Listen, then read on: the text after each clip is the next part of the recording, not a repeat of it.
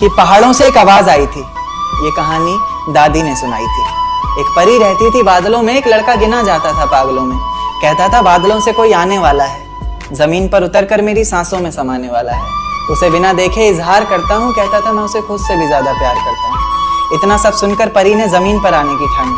माँ ने रोका, बाबा ने समझाया, पर किसी की एक न मानी। रात का वक्त चारों तरफ़ अंधेरा था।